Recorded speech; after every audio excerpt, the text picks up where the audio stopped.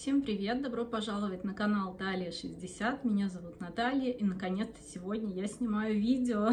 Я э, повернусь к вам лицом.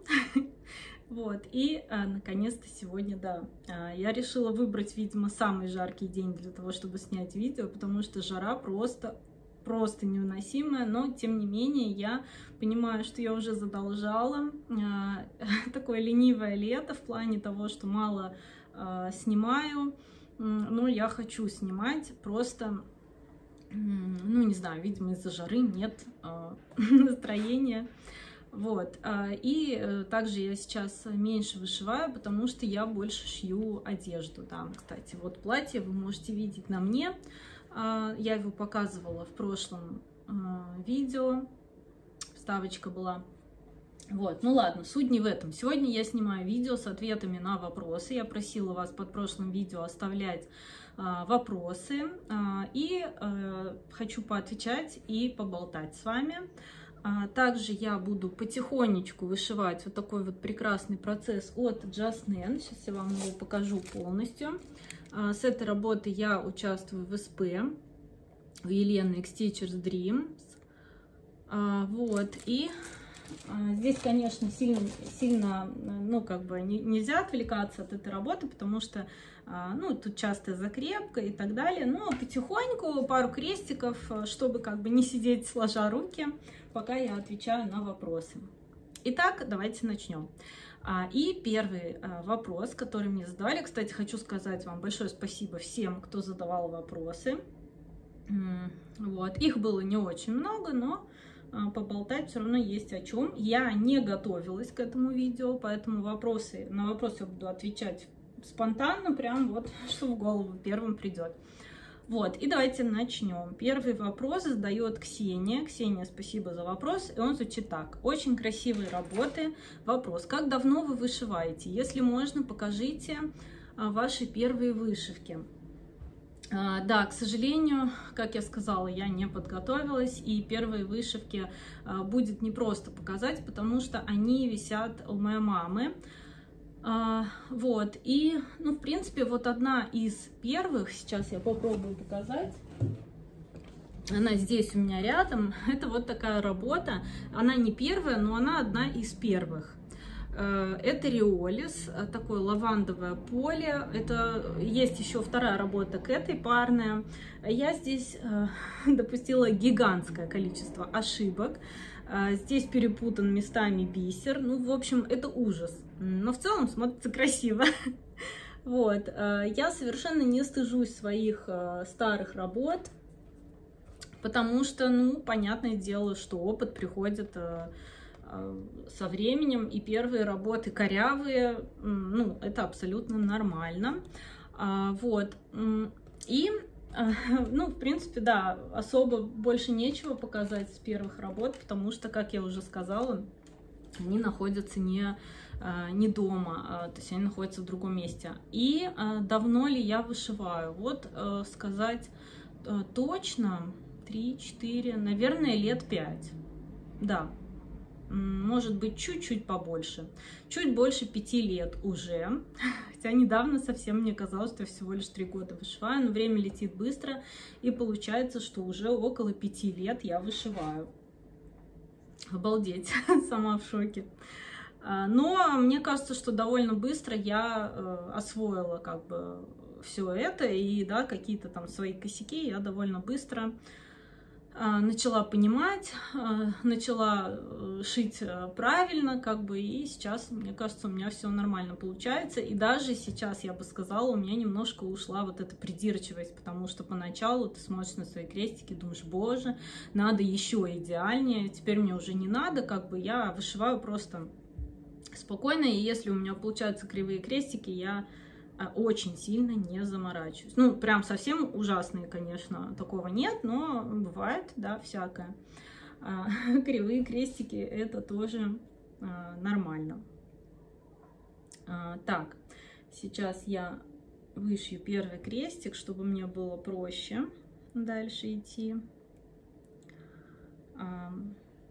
Кстати, у меня тоже есть к вам вопрос. Вы когда вышиваете, вы, ой, точнее, вы когда видео смотрите, вы вышиваете или э, просто смотрите, потому что я, э, ну, как бы некоторые видео смотрю, вышиваю, а некоторые видео я прямо смотрю, то есть я прям, ну, особо такие вкусные видео, я прямо смотрю глазами.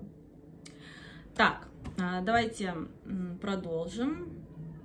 Дальше Марина задает вопрос. Э, э, так, э, Вопрос первый. А, есть ли в планах что-то грандиозное, типа а, танцора? А, Марина, спасибо за вопрос и привет тебе большой. Поясню. Танцор — это сэмплер, большой очень сэмплер от GGR, называется Morris Dancer. Да, у меня, э, ну, в принципе, я его еще не закончила, танцора. У меня также еще в работе находится большой очень сэмплер вот Коры Коре, он тоже очень большой, и не знаю, когда его закончу, но очень хочу, эти сэмплеры обязательно буду заканчивать, э, они, ну, то есть я их люблю, и я их не брошу. Э, что-то грандиозное, да, у меня есть. Э, также от GGR сэмплер, он не такой, может быть, грандиозный, ну, по размеру он может быть не такой большой, как а Морис Денсер, но он более кропотливый, потому что там огромное количество петитов, то есть он вышивается петитами, там большие участки петитов, и, ну, в принципе, по размеру он тоже приличный, а, но он как бы поменьше, чем Морис Денсер, но сложнее. А, и он у меня есть в планах, но не в ближайшее, конечно же, время, потому что я стараюсь сейчас больше 10 работ не э, плодить. Так, и также второй вопрос. Что ты никогда не стала бы вышивать? А, ну, много есть такого. Э, то есть, как сказать? Давайте так отвечу на этот вопрос. В обычной жизни, когда все хорошо и нам доступно все, что есть, да, там милхил, то есть есть разнообразие, в таком, ну, как бы в нормальном, да, состоянии я не стала бы никогда вышивать многоцветки, а, потому что это вообще не мое. А вот эти картины, ну, или многоцветки на основе таких вот картин, ну, где просто гигантский фон зашивается, то есть всякие вот эти огромные такие. Этого бы я не стала вышивать никогда. также ну что еще? Я бы не стала вышивать, ну тоже никогда не говори никогда. Ну вот я говорю, что э, если бы совсем ничего бы не было, кроме этих многоцветок, то, ну, наверное, я бы стала вышивать, потому что я не могу сидеть вот так, сложа руки в свободное время, что надо, что-то надо делать, вот, поэтому, ну, если бы остались только эти многоцветки на планете Земля, наверное, я бы их вышивала. А так нет, вот, вот здесь твердо, то есть многоцветки 100% не мое. А, и также, ну, детские какие-то сюжеты, типа там львенка какого-то, такие мультики прям совсем. А, я бы не стала вышивать ежиков, э, ну вот целенаправленно, да, там не то, что я к ежикам как-то плохо отношусь, но всяких ежиков, мышей, там, ну, такие, знаете, детские немножко. Это не моя история, я бы их тоже не стала вышивать. Ну вот, наверное, да, вот эти вот. А все остальное а, плюс-минус, то есть я не могу отказаться полностью, потому что иногда, да, иногда бывают такие сюжеты, вот чем-то зацепил, и ты сам не знаешь, почему он тебе нравится. То есть э, каких-то супер границ нет. Но многоцветки это точно не для меня, вот это сто процентов. Так, давайте продолжим. Следующий вопрос от Кати, Катерина Стич. Катя, спасибо за вопрос. И он звучит так. Расскажи про э, пять любимых работ, про работы мечты и что бы хотела вышить в смысле, нравятся ли мандалы и многоцветки, твое отношение к ним. Ну вот, да, как бы, в принципе, вопрос похож. Э, пять моих любимых работ. Хм, хороший вопрос. Э, ну, вот у меня на стене, в принципе, висят работы. Ну, это сто процентов, э, это сто процентов будут два сэмплера от Сэнди Уортон. Это сэмплер The Rose Garden, это сэмплер The Gathering Honey. Это сэмплер вот этот с кошкой, с девушка с кошкой, то есть это уже три любимые работы. И, наверное, Морис Денсер, это четвертая любимая работа. Ну да, Морис Денсер точно входит в этот список, потому что я прям без ума от него. И, ну вот пятую трудно, наверное, мне выбрать.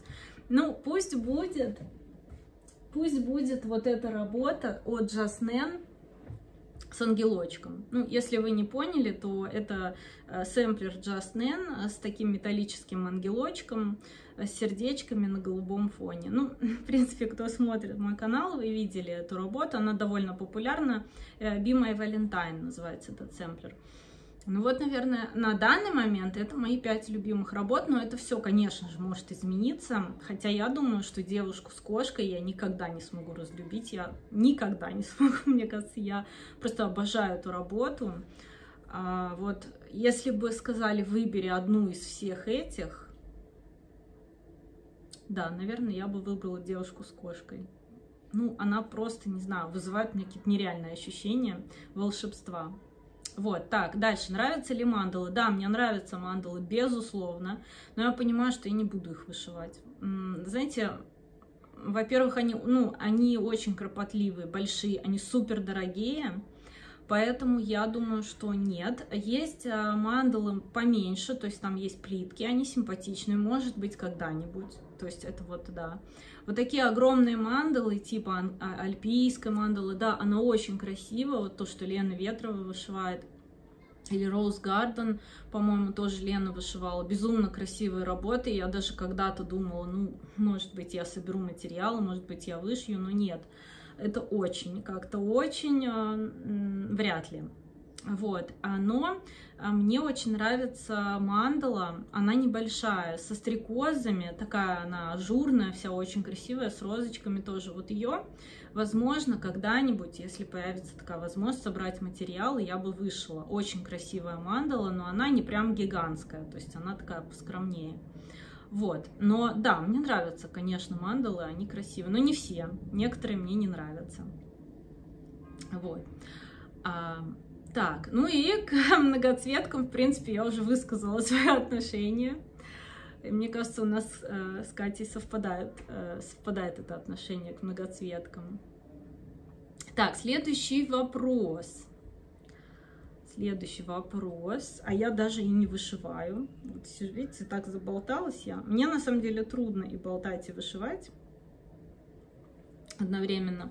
Так, следующий вопрос сейчас от Инессы должен быть. Вот, а, что было самой дорогой вышивальной покупкой? Желаешь ли, жалеешь ли ты о ней? Самое большое вышивальное открытие в этом году. Например, новый дизайнер, новый стежок, новый вышивальный магазин и так далее. А что было самой дорогой вышивальной покупкой? Хм. Этот ангелок. Вот, как раз таки. Be My Valentine от Just Я не знаю, а, то есть, смотрите, э, обычно вы знаете, да, что Just идет э, картон вот этот со схемой и пакетик эмбеллишмента. Вот, собственно, я купила за, как мне кажется, очень дорогую цену вот этот кусок картона и несколько бусин и железный ангелочек. То есть я считаю, это была очень дорогая покупка. А, вот, э, поэтому да. Ну, это было спонтанно, то есть я увидела эту работу вышитой, и потом она мне совершенно случайно попалась в Инстаграме, кто-то ее продавал, а, и я схватила и поняла, что, ну, это, конечно, очень я дорого заплатила, даже не буду говорить, сколько, мне стыдно, вот, и я считаю, что это была самая такая, знаете, импульсивная покупка, но я заплатила, как мне кажется, очень дорого, потому что за, за эти деньги можно было бы купить э, Gold от Dimensions, большой набор. Ну, вы поняли, короче, я лоханулась. Ну, потому что я знаю, что можно было купить дешевле, но мне нужно было прямо сейчас, здесь и сейчас, срочно. И вот я схватила. Поэтому, да, я считаю, это моя самая дорогая покупка так как мандалы я не покупаю, вот, но я имею в виду именно на одну работу, то есть это, а, ну и считайте, еще мне пришлось еще ткань сюда докупать, потом мне пришлось докупать а, нитки, ну не нитки, да, ну если бы пришлось, да, потому что ткань у меня была, нитки у меня тоже были, но все равно это пипец. И там еще идет креник, и креник я тоже покупала. То есть это вообще какая-то космическая работа, и плюс я еще и оформила ее с паспорту.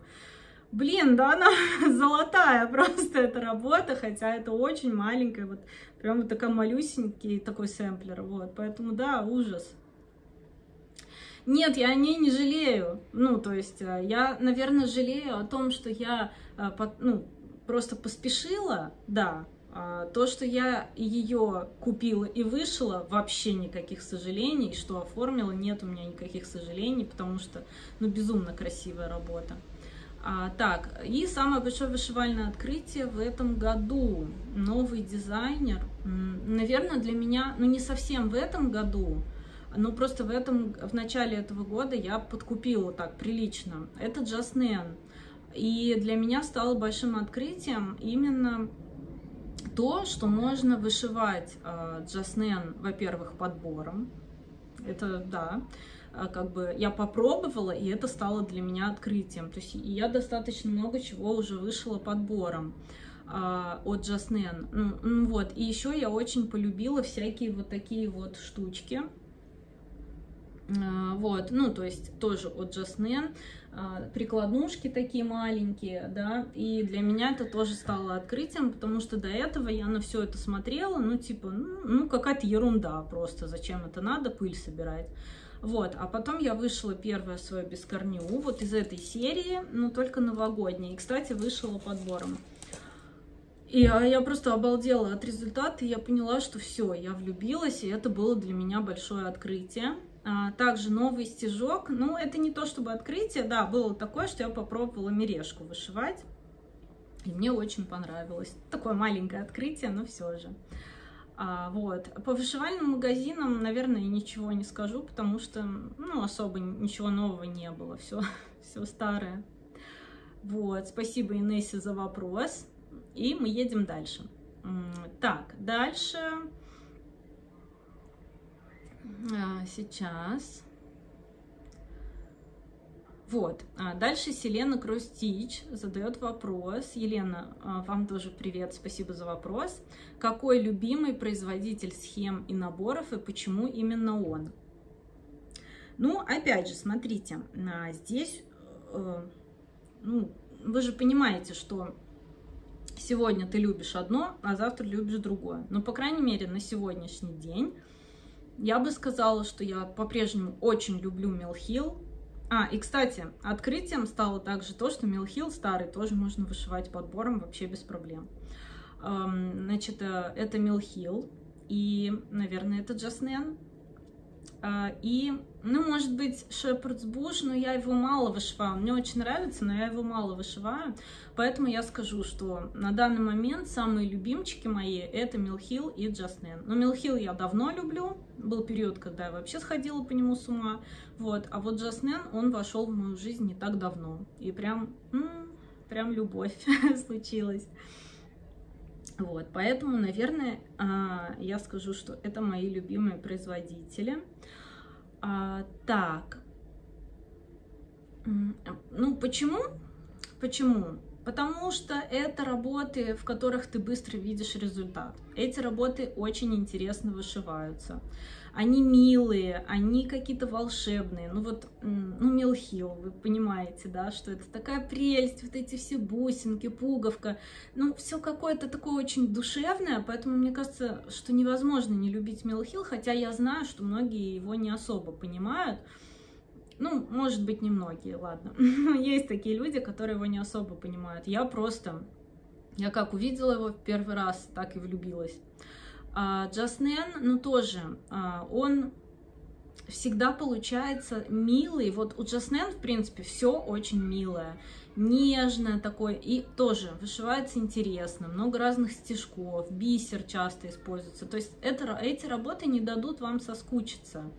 А, и также много вот этих милых всяких прикладнушек. Очень прикольно потом, когда ты всего это навышивал, все, это навышивал, потом это все достаешь, перебираешь. Ну, ну как можно такое не любить? Ну, смотрите, какая милота просто получается. Вот, поэтому я очень э, люблю эти сюжеты. Притом у них еще, посмотрите, и шармики такие классные используются, вот как в этой работе. Ну, кстати, какая прелесть просто. Очень миленькие работы. Ну, а так как я любитель всего миленького, такого вот э, хорошенького, розового, то, конечно, я выбираю для себя такие сюжеты. Хотя, опять же, я считаю, что, ну, я вижу, точнее, что не все любят Джаснен, и тоже не все его понимают. Э, ну, также он, конечно, не супер бюджетный. И да, я согласна с тем, что ну, иногда цена завышена, потому что здесь нет материалов. Получается, вы платите за схему и пакетик с несколькими бусинами. Ну, такое, да. Но, знаете, хочется. Вот, давайте дальше тогда пойдем. А, так, расскажите. Так, волна. Ну, такой ник. А, спасибо за вопрос. А, как... Так, сейчас, секунду. Значит, э, вопрос такой. Какой формат рукодельных видео вам нравится смотреть? Угу. Так, ну смотрите, тут все просто. Мне нравится смотреть итоги месяца и итоги года. Всякие, короче, итоги. Очень люблю. Сейчас вот девчонки многие снимают итоги за полгода. А, я думаю, что, может быть, тоже надо снять такое видео почему нет? Лишний раз покопаться в том, что ты вышел, посмотреть, а, вполне себе интересно, и другим интересно посмотреть. Вот. Но, наверное, вот этот формат самый любимый, и также покупки. Я думаю, что у большинства это любимые видео, потому что они набирают больше всего просмотров. А, поэтому да, ну всегда, конечно, интересно, если кто-то говорит, я там купил это, это, это, всегда очень интересно заглянуть, кто что покупает. Это как заглянуть в шкаф, да, к рукодельнице. Вот, еще я люблю видео, когда показывают э, запасы. Это тоже классные очень видео, запасы. И всегда эти видео вдохновляют на покупки или покопаться в своих запасах тоже. Ну, то есть такие видео, они дарят вдохновение. Потом а, когда показывают итоги, там часто бывают уже вышитые готовые работы, и у тебя всегда есть возможность увидеть, как выглядит та или иная работа уже готовая, и, соответственно, тоже вдохновиться. Вот, поэтому, наверное, вот так я отвечу на этот вопрос.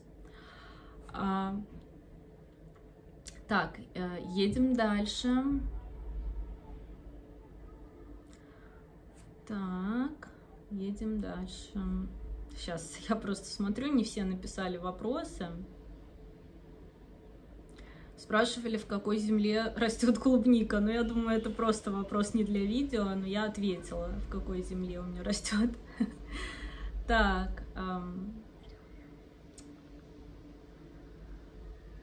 А, Настя спрашивает, планирую ли я оформлять маячки. Сейчас а, объясню. Маячки от Dimensions. Сейчас я вышиваю третий маяк. Вот у меня он на каком этапе находится. А, ну, это знаменитые очень маячки. А, и сейчас я вышиваю уже третий. И отвечу я, конечно же, хочу их оформить. Очень, у меня даже есть место на стене, где я вижу их. А, но не знаю, а, буду ли оформлять их каждый отдельно или все четыре вот в такую панель. Если все четыре в одну как бы такую большую работу, то тогда не знаю, куда повесить. А если по одному или по два, то есть два с одной стороны, два с другой, тогда да, тогда у меня есть место и очень здорово там прям будет стена Dimensions. Вот. А, но пока я не буду ничего оформлять, потому что я хочу вышить все четыре маяка и понять, как а, их оформить все вместе, чтобы они классно друг с другом смотрелись. Но, безусловно, такие работы, я считаю, надо оформлять. Они безумно красивые, они создают очень классное настроение, и когда ты на них смотришь, а, ну, это прям, ну, классно. То есть можно разглядывать очень долго, можно смотреть на эти маяки, о чем-то мечтать. Поэтому, конечно, я бы хотела. Да я вообще все свои работы хотела бы оформить. Но просто не знаю, куда это все вешать. А, вот. Так, а, дальше. Там просто от Насти еще будет несколько вопросов. Давайте я тогда сразу на них и отвечу, потому что Настя задавала мне вопрос еще в Инстаграме, за что большое тебе спасибо. Так, вот следующий вопрос. Самый необыч... Самая необычная вышивка. А, самая необычная моя вышивка, я считаю, это Джокер.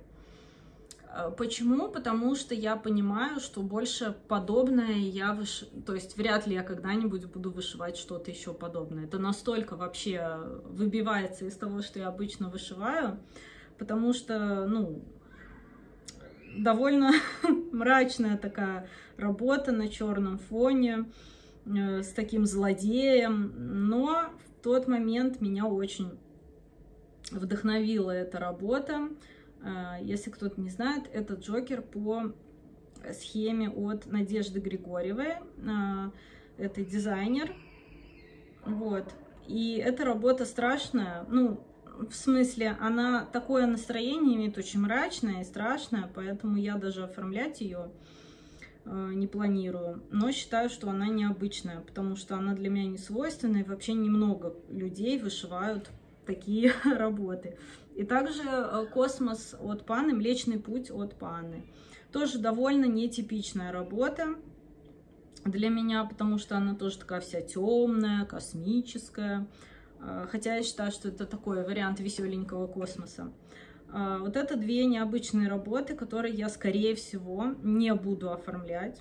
Хотя только что сказала, что я все работы свои хочу оформлять, но вот эти работы, я не вижу их, а, ну, среди вот этих вот всяких милхильчиков, да, там, Джасненом, ну, потому что они вообще очень другие, и а, спросите тогда вы, почему ты их вышивал, если ты не хочешь их оформлять, просто нравится, то есть не все, что я вышиваю, я хочу оформить, да, но есть, есть какие-то работы, которые просто хочу, чтобы были у меня, вот, вот и все. Вот, поэтому вот, наверное, Космос и Джокер — это мои самые необычные работы, на мой взгляд. Кстати, напишите, как вы считаете, вот, если вы смотрите меня уже достаточно давно и помните вообще, что я вышла, потому что я понимаю, что невозможно запомнить все работы блогера.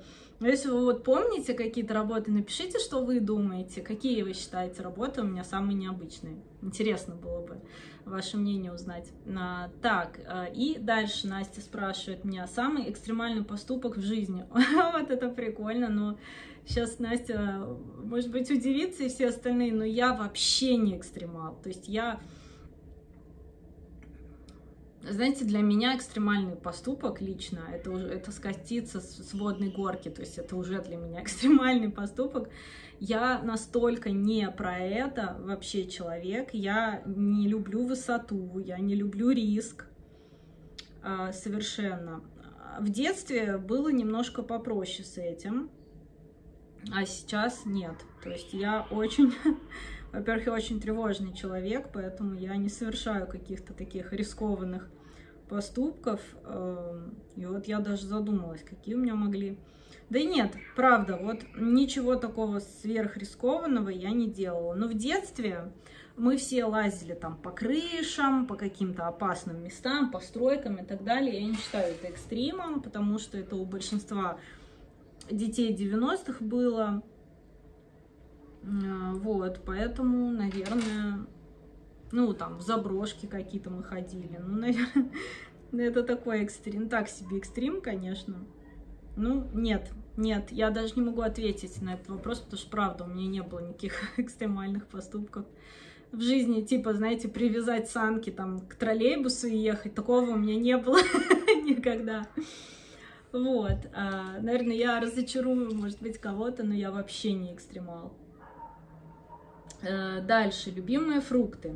А, любимые фрукты. Эм, ну, сейчас лето, и я ем много сейчас фруктов, потому что раньше мне было нельзя из-за проблем с кожей, с аллергией, а сейчас, а, ну, как бы мне врач разрешил есть, и я прямо лопаю много, поэтому прям с таким удовольствием на этот вопрос сейчас отвечу, что а, я, наверное, любимые самые, это черешня, арбуз, ну, вот черешня, арбуз и клубника на первом месте, хотя это типа, ну, уже ягоды, да, вот, скорее, чем фрукты, и ежевика, это тоже ягода, а, вот, а, ну, наверное, абрикосы еще, вот, абрикосы, если вкусные, сладкие, я люблю, Вот это самое-самое любимое. Все остальное, вот как бы я спокойно, ну, яблоки так, груши, там вот это все.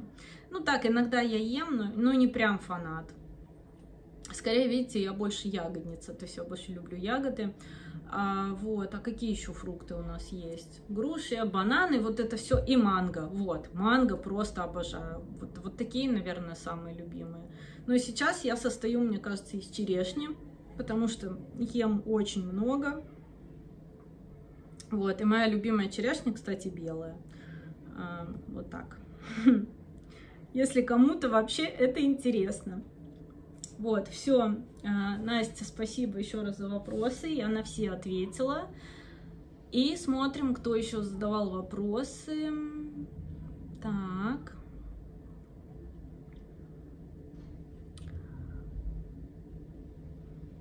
Так, так, так. А, наверное, вот и все. Да. В принципе, на этом все. Ну, тут просто задавали вопросы, там, как я ткань красила. Надо, кстати, снять отдельное видео, потому что меня вот спрашивали несколько раз, как я красила ткань вот на этот треугольничек. А на этот треугольничек я красила ткань сама, а вот на этом треугольнике, ну, здесь я брала ткань уже покрашенную э, от равномерка на траве. Э, вот, в общем-то, да, я ответила на все вопросы, как я сказала, их было не очень много, хотя я наболтала на 31 минуту. А, Все, я буду на этом заканчивать. Просто приятно было с вами поболтать. Если вам понравилось видео, ставьте лайки, не забывайте обязательно подписываться, пишите комментарии, я всем отвечаю. Вот, и спасибо вам за то, что смотрите, за то, что общаетесь со мной. И до встречи в следующих видео. Всем пока!